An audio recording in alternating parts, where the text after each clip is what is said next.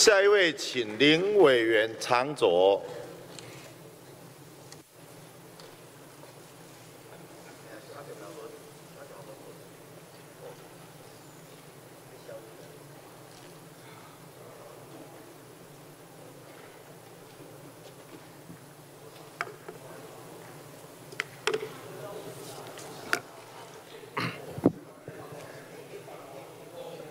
各位们立法院的同仁，大家好。是为什么会有社会对抗？为什么会有社会的冲突？为什么会撕裂社会？就是因为我们在座的有许多像赖世宝委员、费鸿泰委员、沈智慧委员，你明明知道不是这样子，还跟着外面扭曲、恶毒、抹黑、错误的资讯。在这边起舞，就是因为这样，所以社会对立。我们今天为什么会在这边审婚姻平权的法案？这是因为大法官会议已经解释说，在台湾我们必须要保障所有的人结婚的权利，不分你的性倾向。还记得两年多前，我相信赖世宝委员、费鸿泰委员也在立法院。当时是包括民法的版本、专法的版本，都放在讨论的桌上讨论。而到了今天，为什么我们现在只剩下专法的版本，没有任何一个民法的版本？就是因为遵守公投的结果。去年的公投结果清清楚楚，这个过程是什么？一开始提案人他提出来的案子是写。你是否同意婚姻应该限定在一男一女？也就是说，你是不是同意要让同性结婚？后来外界中选会有疑义说，你这个写的不清楚，你的意思到底是不准他们结婚，还是不准他们用民法结婚？后来提案人自己补充。他的意思是你是否同意民法婚姻应该限定在一男一女的结合？理由书里面直接写哦，本提案不排除以其他形式来保障同性别的二人可以这个得到婚姻自由的平等保护，清清楚楚是这个过程。这个是提案人自己写的，即便提案人以及他们的团体在。公投之后还讲了很多矛盾的话，但是我们回来看一下提案人的提案内容以及提案书，各位立法委员明明就知道，事实就是我们在这边审婚姻平权的法案专法，就是因为遵守公投，没有人比我们还遵守公投，只有你们在违反公投、扭曲公投、曲解公投。而且因为这样子，想要去造成社会对立，来得到你们的政治利益，这样子去欺负这些已经权利被剥夺了几十年的人，打压这些过去这两三年来受到伤害的人，然后来得到你们自己国民党的政治利益，公平吗？我要拜托你们，昨天我打了好几位国民党的委员，把票投出来，今天把票投出来。谢谢林委员。发言会所有登记广泛讨论的委员均已发言完毕，现在进行逐条讨论。各位呃立法院的同事，大家好。呃，我想，呃，关于呃这一条，我们当然都是非常的希望可以把这个保障婚姻自由的意旨能够写在里面。但是如果说为了能够这个让这个法案能够顺利的通过来做比较浓缩的这个描述，其实我不会有太多的意见。但是我想借由这个机会，那再来回应刚才有几位呃同事的一些看法。第一个，呃，是不是太赶的问题哈？我想，除了刚才我们黄国昌委员说的，其实这已经几十年来的一个推进。那呃，过去也已经两年多来在立法院的讨论，不管从本来的民法跟这个专法。那即便到了现在，是因为公投过了以后，里面规定三个月内行政院要送案，所以不是太赶。如果我们要遵守公投，他就必须在三个月内提案呢。这个是遵守公投，怎么会变成说干嘛那么赶？所以大家一直在讲要遵守公投公投法三第三十条，就是说三个月内要提案。而我们在修的这个过程里面，又有一个五二四视线的这一个时间的限制。那大家在协商的时候，如果大家真的希望好好的讨论，我不太知道为什么有几位提案人其实要么就是来了一下就离开，要不然就是根本不来。那现在又说都没有好好讨论，那这不是一个很这个矛盾的事情吗？那。另外就是刚才有委员说，里面很多部分都直接写准用民法，我必须要请这个委员们大家思考，如果你不写准用民法，然后你又要保障婚姻自由以及它的平等权，要怎么写？我非常乐于看到你们的版本，但是你们的版本很清楚，就是没有保障婚姻自由嘛，没有保障婚姻自由，不是用婚姻的这一个方式来定义。人权以及宪法上面保障的婚姻自由会发生什么事？我也已经一而再、再而三的说了，它可能会发生。我们今天坐在这里，最后通过的，不管是这个同性家属，或是同性这个结合的版本，以后这个上路了。还是有很多的同性伴侣在五月二十四号，他还是拿着四线七四八号去说，我还是要办结婚，我不是要做结合登记，我是要结婚登记，因为这个是宪法保障我的人权。那我们第一线的内政部的这一些呃户政机关的人员要怎么办？以及你难道要叫这些同志朋友再去？打一次视线吗？我们在这里不好好的就婚姻来论婚姻，提出一个婚姻来保障大家的这个权利，去弄出出去百威，提出另外一个东西，我让你登记结合啦，我让你登记家属，但是不要登记结婚。结果把问题丢给人民，让户政机关在现场一团乱，甚至于有更多的事件案要出现出发。谢谢林委员。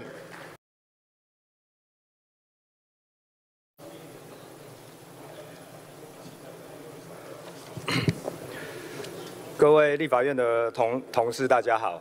呃，我想关于这一条，如果不是投下这个结婚登记。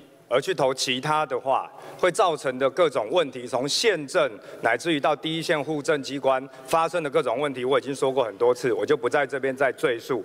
那也希望大家可以回来就婚姻论婚姻。那在这边，其实我是希望所有国民党的委员再一次思考了哈，因为这个是重中之重，也是展现台湾在一些进步的价值上面，有机会是跨党派可以有共识的可能性，而。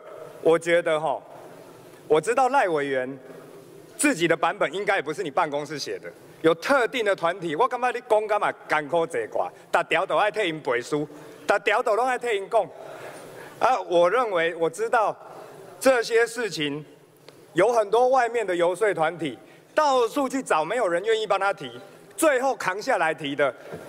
当然了哈，我只是希望。每一个国民党的委员，乃至于现在民进党的委员投不下去的，大家再重新思考。每一个人上来念的这个发言稿，其实你的助理到底支持什么？他可能被迫一定得写点东西给你念。可是大家在立法院很清楚，支持婚姻平权，几乎是跨党派的助理都支持，几乎是你可以好好的，你现在把你的稿子放旁边，别人给你的案子也放旁边。然后，成平心静气想一下，那个传个讯息给自己的助理群主们姐，尤其是笑脸那，就像刚刚许玉仁委员说的，这是一个世代上面对于台湾美好未来的想象。你问问你年轻的助理，他期待怎么样的台湾？是他被迫只能写的稿子上面的那一种台湾，还是说可以自由自在跟爱的人结婚的台湾？你问他说，你要我继续念？你给我的稿子，还是你要告诉我，在第四条要不要支持让相爱的人就可以结婚？我相信大家的答案都很清楚，所以我要再一次呼吁所有跨党派的委员们，我再一次说，你把人家交给你的法案放旁边，把有人不得不写的发言稿也放旁边，好好的想一下，可以投下怎么样的票？我相信会有很多温暖围绕着你们。而我相信，最后赖委员，你那位三等亲的同性伴侣登记结婚之后的这个婚宴呐，咱所有的同事都会去给你祝福啊，所有的同事都会去给他们祝福，一定幸福。我相信他在大家的祝福之下，一定会非常幸福。谢谢，谢谢林委员。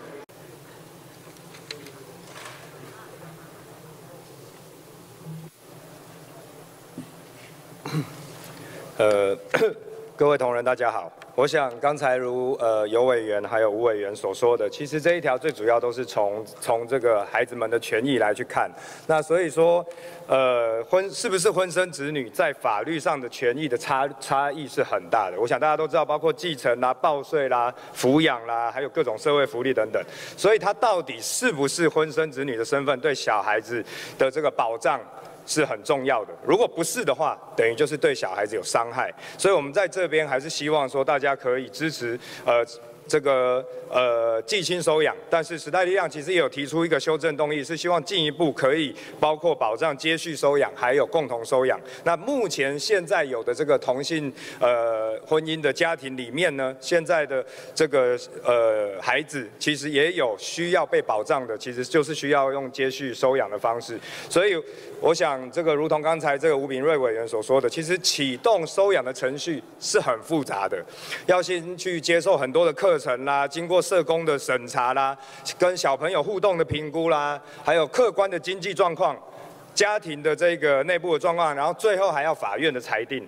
所以，如果经过这些专业的评估以后，呃呃，这个认为有一个孩子跟一个家庭的互动关系真的是非常的好，非常适合在这个家庭里面成长。可是，就只是因为家长的这一个性倾向，呃而。阻止了这个孩子的幸福，我觉得这个其实就是另外一个歧视。这也是我们今天在这边讨论呃婚姻自由的时候，除了在讲婚姻自由、婚姻的保障以外，以及我们要保障的其实是人民的这个平等权。所以呃，我我知道说以现在的这个议事的这一个流程，我们的修正动议看起来可能不一定有机会被表决，但是我希望所有在座的同仁官员可以一起来思考这个问题。呃，应该是要尽快也能够。进一步来解决，谢谢。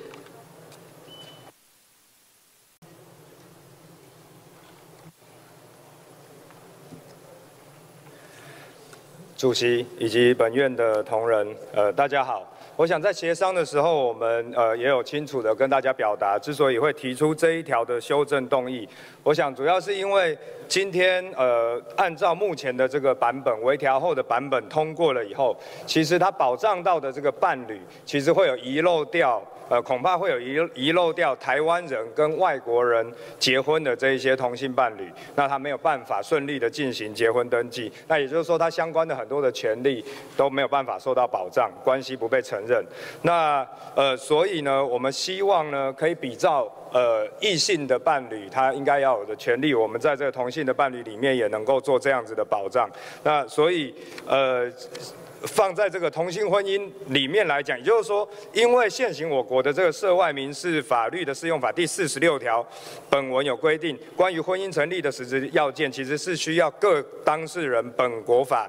去进行认定，也就是说，如果今天刚好台湾人是跟加拿大人结婚，或台湾人跟美国人结婚的话，他比较不会有这样的问题。但如果说台湾人是跟其他的国家，例如说，呃，刚才我们也还有一些呃朋友正在急着问说，例如说他跟香香港的朋友结婚的话，是不是在台湾他还没有办法有这个呃婚姻的这个保障、配偶的保障？所以在这边我们是希望能够提出这一条，那让大家在这个要件上面可以依照一。方的当事人的本国法进行认定，那也就是说，我们希望，呃，这样子能够在呃时代力量这个修正条文通过之下，能够去保障到一样的这些台湾人跟外国人的伴侣的这个保障。谢谢。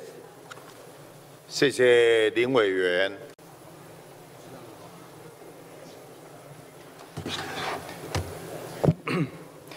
院长，还有各位委员，还有所有场外的朋友们，还有很多没有办法到场，在线上关注的大家，首先要恭喜大家，我们一起做到了。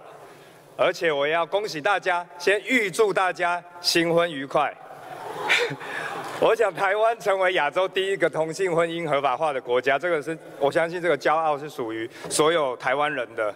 那另外，身为立法委员，我想很多人很多委员应该跟我的心情很像了哈，也是对于这些同志朋友们说一声抱歉，让大家久等了，让大家受委屈。